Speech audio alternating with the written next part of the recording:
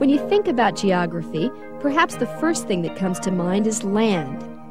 You might think of the continents or of the many different landforms found on the earth. Water, too, might come to mind, such as oceans and rivers and lakes. You might also think of the people living on the earth and how their lives are affected by the land and water around them.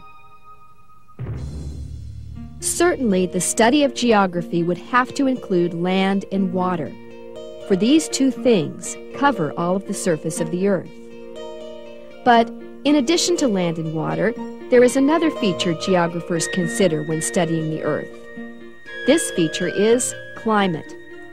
Climate is, simply put, the weather pattern of a region of the world over a long period of time. Many factors influence a region's climate. Perhaps the most important of these is the sun. The sun is the source of all light and warmth for every place on earth. However, not all places receive the same amount of sunlight. This is because of the way in which the earth moves around the sun. The earth is constantly in motion. It is continually spinning on its axis an imaginary line running through the center of the Earth from the North Pole to the South Pole. This motion is called rotation. At the same time the Earth is rotating on its axis, it is also traveling around the Sun. This second movement is called revolution. The amount of time it takes for the Earth to make one revolution around the Sun is called a year. The Earth's axis is not straight up and down, but tilted. Because of this, as the Earth revolves around the Sun, different parts of the Earth are tilted towards the Sun at various times of the year. For example, in July, the northern hemisphere is facing toward the Sun. But half a year later, in January, it is tilted away from the Sun. This movement of the Earth results in the different seasons of the year. When a hemisphere is tilted toward the sun, it receives more direct sunlight. The more sunlight a place gets, the warmer it becomes. Of course, if one side of the earth is facing toward the sun, the other side must be facing away from the sun. When a place gets less sunlight, the weather becomes colder. So, for example, when it is winter in the northern hemisphere, it is summer in the southern hemisphere. There are other factors besides the sun that determine climate. In some places, the weather stays warm year round, while in other parts of the world, it is cold all the time. One reason for this is latitude. Latitude is the distance a place lies north or south of the equator, measured by imaginary lines called lines of latitude.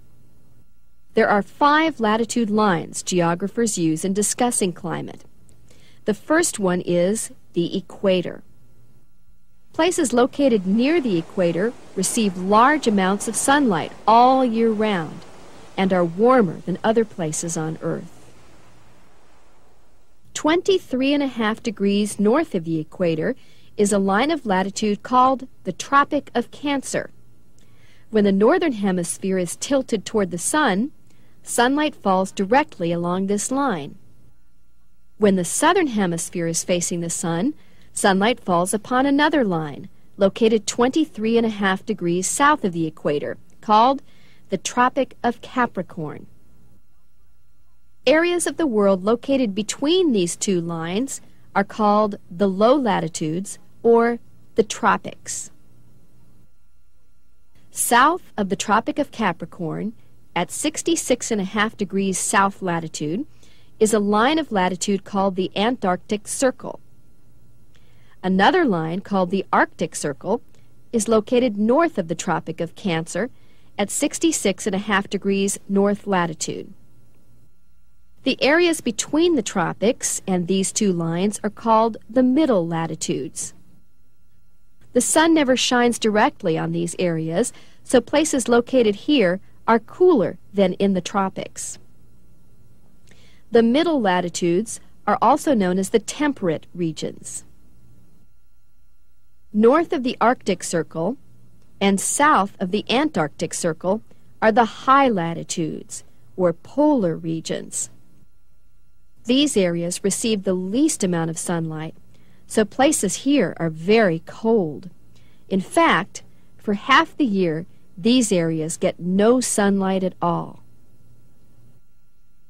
Another factor that determines a region's climate is elevation. Elevation is the height of an area above sea level. Generally, the higher an area's elevation, the colder its climate. Because of this factor, snow can be found year-round on top of high mountains, even when the weather is warm down below. Another important aspect of a region's climate is the amount of precipitation that falls. In some places, it rains or snows nearly every day. Other places may be completely dry for most of the year, with rain coming only in certain months, like during the monsoon season in India. Wind, too, can have an effect on an area's climate. Depending on from which direction winds blow, they can be either warm or cool. Winds blowing from the tropics carry with them warm air. Similarly, winds blowing from polar regions bring cold air. Water currents can act the same as wind currents by carrying warmth or coolness from one part of the world to another. One example of this is the Gulf Stream. The Gulf Stream refers to ocean currents that carry warm water from the Gulf of Mexico to places as far north as Norway. Due to the effect of these water currents, even though Norway is located near the Arctic Circle, its climate is warmer than that of most places in the polar regions. Geographers divide the world into six main climatic regions tropical, subtropical, temperate, subpolar, polar, and highlands. Each of these climatic regions are defined by both temperature and precipitation. For instance, places with a subtropical climate would be described as having hot, dry summers and cool, rainy winters. Climate has a great impact on people's everyday lives. Among other things, it affects what they wear and what kind of houses they live in. People who live in hot climates, for instance, wear very light clothing. But people who live in polar climates, such as Inuits, wear fur or other warm clothing to protect themselves from the cold. Inuits also live in houses that are well insulated to protect against the Arctic air. But people who live in hot climates don't need to worry about insulation.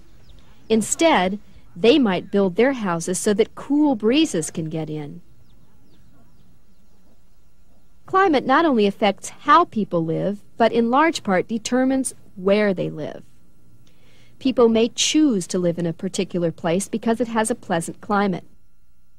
Many older people in the United States, for example, choose to retire to Florida or Arizona because it is warm there year round.